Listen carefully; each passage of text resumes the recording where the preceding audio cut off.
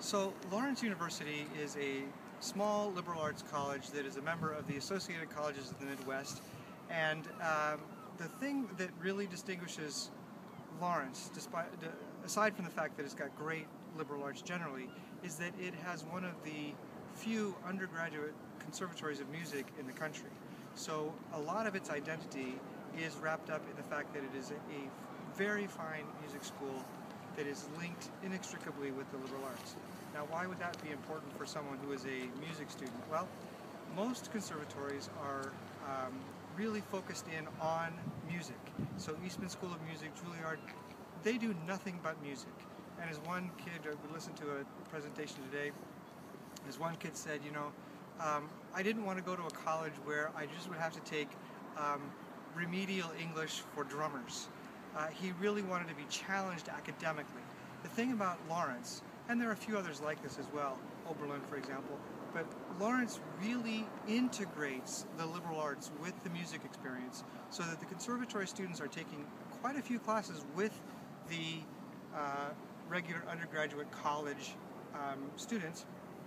But in addition, the um, fact that this is an undergraduate institution, full stop, gives students who want to the opportunity to do both a Bachelor of Music in Performance in, in the Conservatory and also to do a full Bachelor of Arts in the college. So there are students who are doing in five years getting two degrees, a Bachelor's of Music and a Bachelor of Arts.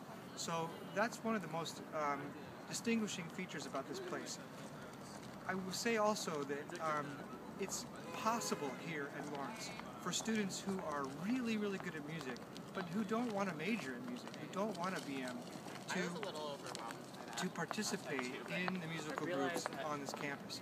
We listened to a, a jazz jam today in the conservatory um, where they were auditioning students for the jazz uh, studies program and um, the guitarist who is a uh, student here he's not in the music program. He's not majoring in music and yet he's in all of the jazz um, programs. He's, he plays a lot on campus. So for students who really want fine music whether or not they want the Bachelor of Music this is a really great place to consider if you really want that academic, a solid academic background of a liberal arts education and the music, Lawrence is the place.